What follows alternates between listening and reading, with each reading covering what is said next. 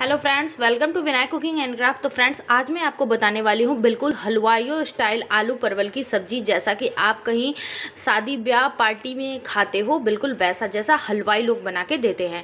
तो चलिए इसे बनाने के लिए जो भी इंग्रेडिएंट्स चाहिए मैं आपको बता देती हूँ। तो यहाँ पर मैंने एक डेढ़ कप के आसपास हमारा ये परवल है और क्वांटिटी में ये एक पाव, यानी कि 250 ग्राम है। इसके अलावा मैंने यहाँ पे 300 ग्राम आलू ले लिए हैं। तीन से साढ़े तीन सौ ग्राम आलू है।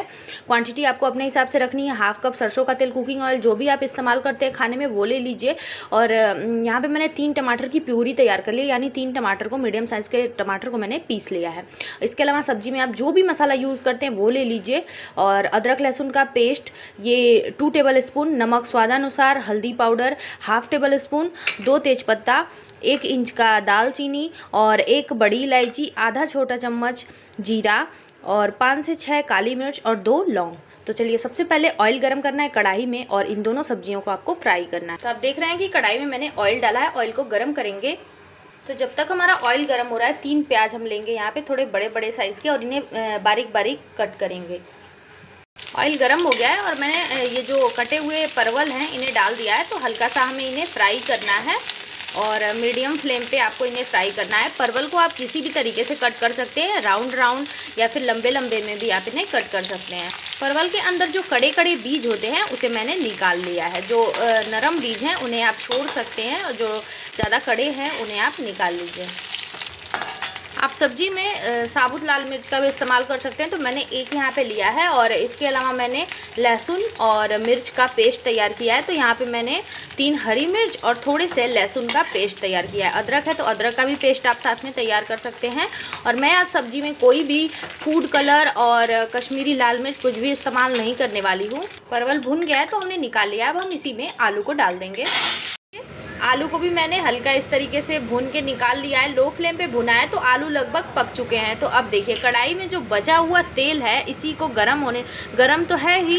अब इसके अंदर हम जीरा, तेज़पत्ता, काली मिर्च, लौंग, दालचीनी सब कुछ ऐड करेंगे और थोड़ा सा इन्हें हम करारा करेंगे, यानी थोड़ा सा क्रंची करना है आपको। और फिर हम इसमें ऐड करेंगे ये जो हमने लाल मिर्च ली थी, इसे। जीरा का कलर थोड़ा सा चेंज हो जाए, यानी थोड़ा और डार्क हो जाए, तब हम इसमें प्याज ऐड करेंगे। तो अब मैं इसमें कटे हुए प्याज डालूँगी। तो देखिए, प्याज को मैंने डाल दिया। अब आप चाहें तो हल्का हल्का ढक के भी अपने प्याज को थोड़ा सॉटे कर सकते हैं कलर को चेंज कर सकते हैं। तो फ्लेम को आपको लो मीडियम ही रखना है।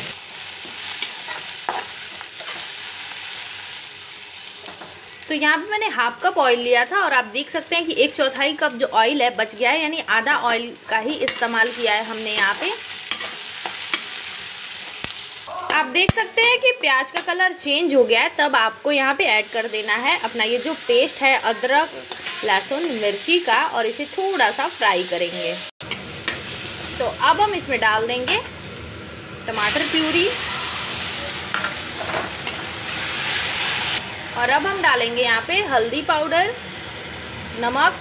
नमक आपको टेस्ट के अकॉर्डिंग डालना है। मैं एक छोटे से चम्मच से तीन चम्मच डाल रही हूँ। चम्मच छोटा सा है हमारा। तो आप अपने स्वादानुसार नमक यहाँ पे डालिए। और अब डाल देंगे वन टेबल स्पून मसाला तो मैंने यहाँ पे एमडीएच का मीट मसाला इस्तेमाल किया है। आप गरम मसाला और धनिया पाउडर दोनों यूज़ कर सकते हैं मिक्स करके या फिर सब्ज़ी का जो मसाला आप बना के रखते हो, जैसा कि मैं रखती हूँ तो उसे भी आप यहाँ पे ऐड कर सकते हो। तो इन्हें मसाले को हमें अच्छे तरीके से थोड़ी देर के लिए भुनना होगा ताकि ये अच्छे से पक जाए। तो मसाला अच्छे तरीके से भुन गया है। अब हम इसमें पानी डालेंगे। तो मैं यहाँ पे हाफ़ कप पानी डाल रही हूँ और इसे थोड़ी देर के लिए पकाना इसे ढक देंगे हम। तो अब मैंने इसमें आलू और परवल डाल दिया है और इसे हम ढक के चार से पाँच मिनट तक के लिए पका लेंगे ताकि ये अच्छे तरीके से पक जाए। तो चलिए आप इन्हें ढक भी सकते हैं और अगर आप इसमें थोड़ी और आ, मतलब इसे थोड़ा और गीला बनाना चाहते हैं अपनी सब्ज़ी में रस्सा लगाना चाहते हैं तो थोड़ा पानी और डाल सकते हैं।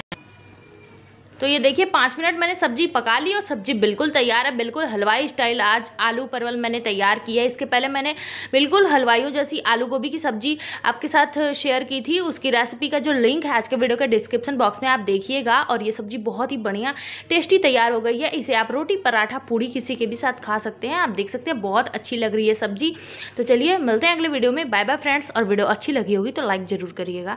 और अगर आप पहली बार हमारे चैनल पर आए हैं तो चैनल को ज़रूर सब्सक्राइब करिएगा